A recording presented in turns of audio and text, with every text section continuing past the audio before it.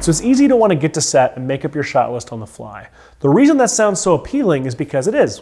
When it happens and works, it is everything we got into this business to do. It's creation, it's collaboration, it's problem solving, it's storytelling. The thing is, it doesn't happen very often. What normally happens is the world explodes and the sun begins melting into the night, and we have 30 seconds to get a five minute action scene. And this person needs this, and that person needs that.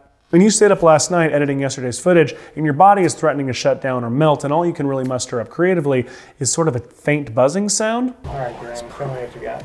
Between time and art. Now, you have to prep. You want to prep. You need a detailed map because you're expected to take this journey completely out of order.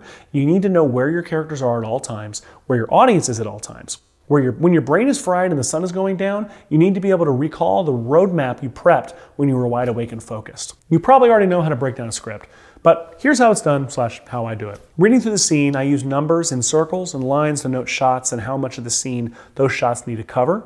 Usually I'm the one who wrote the scene, so I already have an idea in my head for how the scene should be covered. But I still always try to examine the scene and look for uh, point of view, progress, pivots, and transitions. The four P's. Now, from whose point of view are we experiencing or witnessing the scene?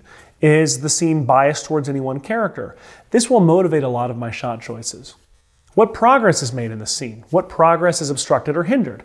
The character entered the scene wanting something. How did they progress in their journey to get it? Are there any major pivots in the scene? Sometimes there are pivots of intent, like if a character enters the scene wanting one thing but leaves the scene wanting another. And sometimes there are pivots of context, where the audience enters the scene thinking what they're seeing is one thing, then will leave realizing it's something else entirely. Where is the specific moment in the scene when that pivot happens, and how can I visually represent it?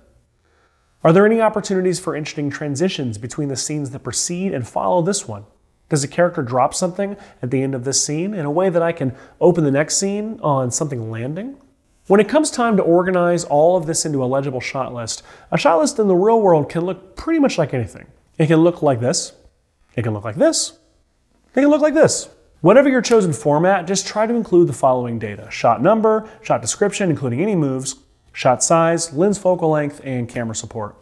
If you're looking for a good app, I recommend ShotLister. It works on mobile and desktop and can sync between devices.